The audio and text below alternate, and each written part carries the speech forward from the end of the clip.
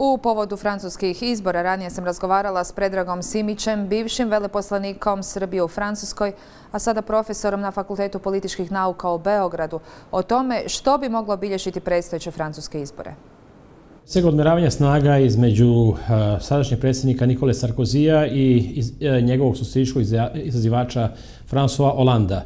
Jer jako će na e, u prvom krugu izboru učestvovati više kandidata, Verovatno je da će upravo njih dvojica se suočiti u drugom krugu i to će odlučiti o sudbini Francuske u narednih nekoliko godina. Što kažete na gospođu Le Pen? Kažu da ona sve više krade glasova o Landu. Pa moguće je, pogotovo zbog tekuće krize na koju Francuska odgovara često skretanjem u desno.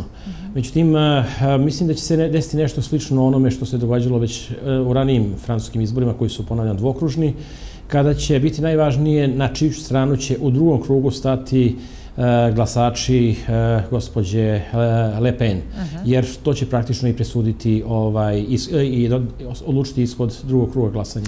Gospodine Simiću, što smatrate da će biti glavne teme koje će obilježiti nadolazeće izbore?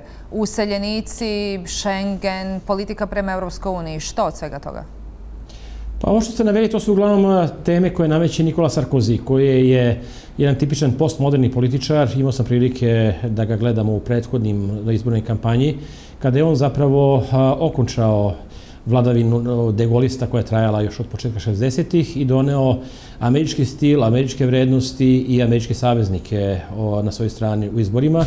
I Francuska koja je bila već u dobroj meri e, iscrpljena neuspesima i problema koje su je stvarala predstavna generacija političara, masovno se okrenula upravo Nikoli Sarkoziju, koji u izbore izlazi dosta oslobljen zbog ekonomske situacije, krize u Evropskoj uniji i niza drugih stvari, ali sa kojim nikada nije izvesno. E, pokušava li on kompenzirati sve te nedostatke kroz priče o imigrantima? E, vidimo da se okreće udesno i upravo sa okretanjem prema toj priči na kojoj su Francuzi jako osjetljivi, e, počeo je susizati tu razliku u odnosu na Olanda.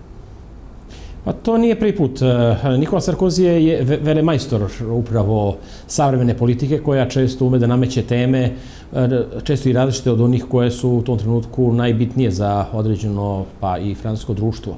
Eh, prošli put je na izbori zašao pod parolom sa nama sve postoje moguće, avec nous tout devient possible.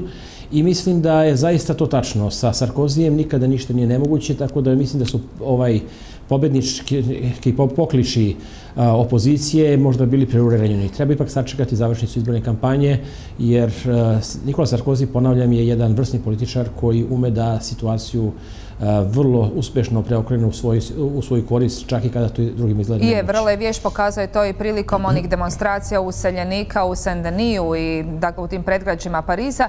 Međutim, može li se dogoditi da predstojeći izbori u Francuskoj e, ponude nekakva velika iznenađenja?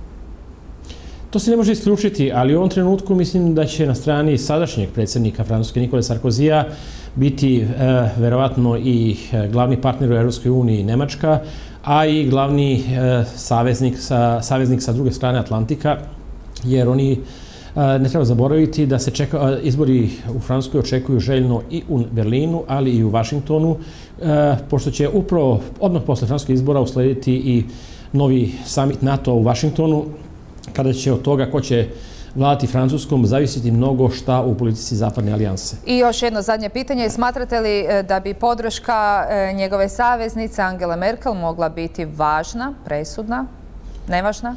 Pa, pre svega mislim da bi e, podrška njegove sa saveznice Angela Merkel, dosta smo već čuli i onaj slavni termin Merkozi, ovaj, mogla da bude vrlo značajna da potvrdi da je Francuska upravo taj e, drugi član dvojca koji de facto u ovom trenutku upravlja Evropskom unijom kroz e, burne vode krize. Tako da Eh, ne treba isključiti da za jedan deo Francuza podrška iz Berlina neće baš biti preporuka za Sarkozija, ali čini mi se da u ovom trenutku većina Francuza koja želi da sačuva Evropsku uniju smatra da je održanje te eh, osovine eh, Paris-Berlin ključno i pošto su do sada Angela Merkel i Nikola Sarkozy uspešno funkcionisali zajedno, čini mi se da će to za većinu francuskih birača, za, za centar francuske politike, biti jako pozitivan signal.